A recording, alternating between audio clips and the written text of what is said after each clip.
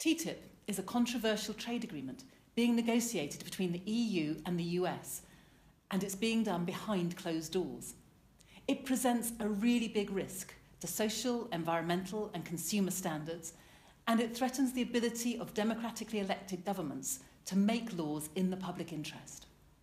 Some people are asking if we left the EU, would that protect us from TTIP?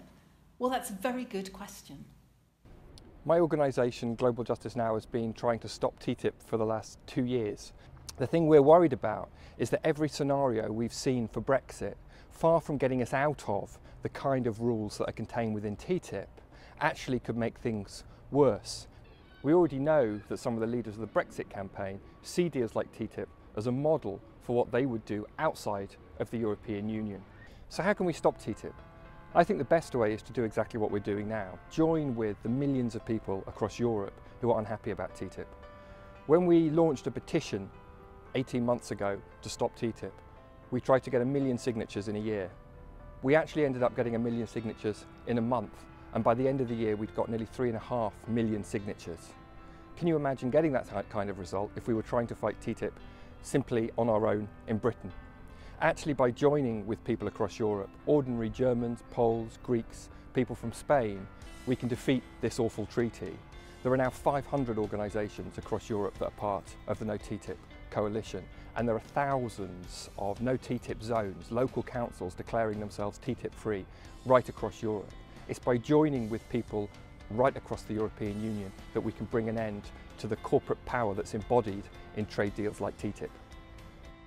The mounting pressure from citizens, campaigners and progressive politicians from across Europe has successfully forced the EU to open up TTIP to more scrutiny.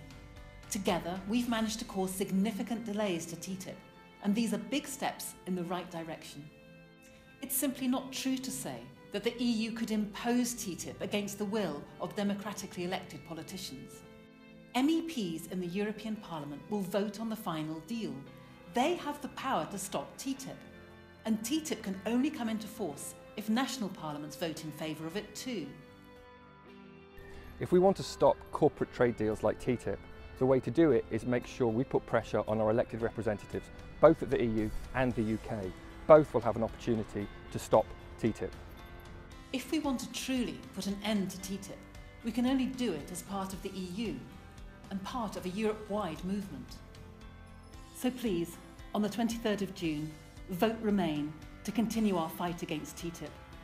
And together we can build a social Europe based on solidarity, social justice and environmental sustainability. Only by working together and getting stuck in can we really defeat TTIP.